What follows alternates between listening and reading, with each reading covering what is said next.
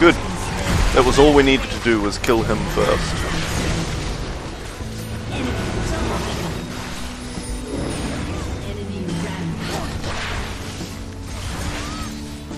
Oh my god. Oh my god, he just knocked her out of my thing.